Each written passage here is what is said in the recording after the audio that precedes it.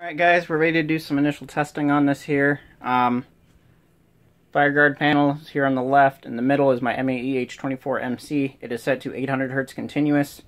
On the right there is one of my Twinflex call points. Um, I've got my three. I've got three wires going from there from the panel to a little uh, plug-in. Uh, red and black are for the current, and the uh, green is ground. Um, if you if you did notice in the inside the panel, uh, the transformer doesn't really have a ground, but in order to satisfy that plug, I have I've got the third one there. So I'm going to go ahead and plug it in here.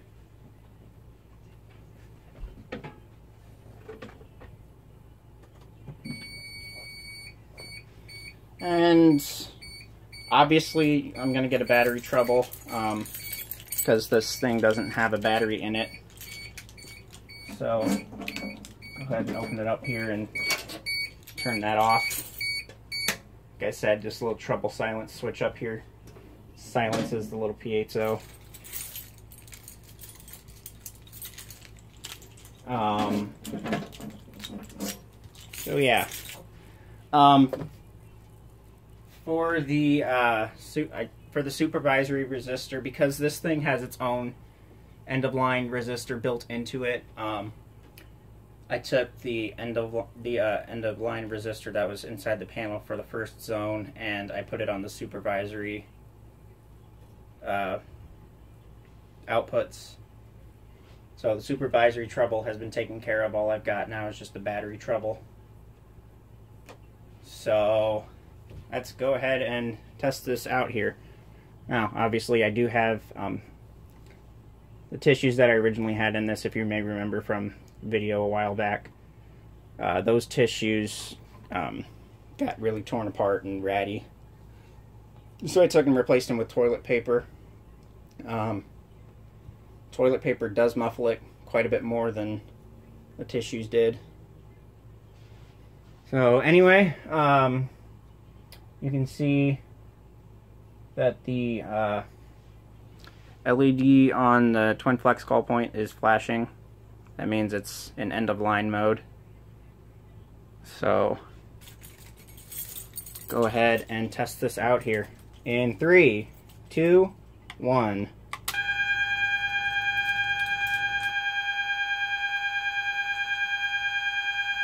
Now, as you can see, the uh, Twinflex call point is flashing because it's an alarm. You can see that the little yellow flag has popped down.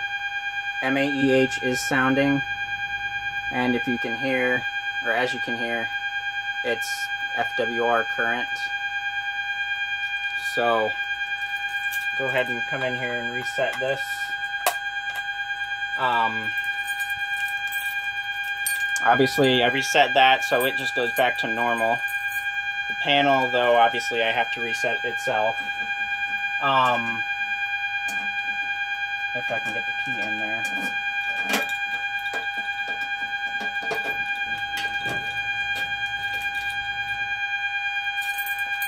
Alright, so down here just below the little uh, trouble silence switch is a, is a the reset switch. So you push that over, you can see all, all the zones are in trouble. And you let go of that, everything returns to normal. Well, semi-normal for me because I don't have the battery in there, but that'll be normal until I can find a proper battery. Um, another cool thing is with this, I'll bring the camera over here, kind of zoom in so you can see it there. Uh, with the little reset uh, switch, if you flip, if you were to flip it the other way, if you flip it to the right, it's essentially drill mode. So you can see all the zones here go into alarm. MAEH sounds. However, uh, Twinflex call point there is just in normal mode because uh, it wasn't set off. So let's go ahead and reset that again. And that's pretty much it. So go ahead and shut the cabinet here.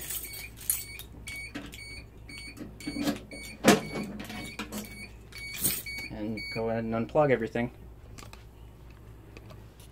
And you can see when it powers down like that, uh, the zones go in, the zone trouble LED lights up.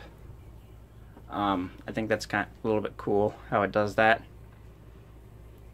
So yeah, that is uh, the initial demonstration of the Potter Electric Signal FireGuard 4000 series fire alarm panel. Four zones, conventional. Rate, comment, like, subscribe, you know the drill, and I'll see you guys later.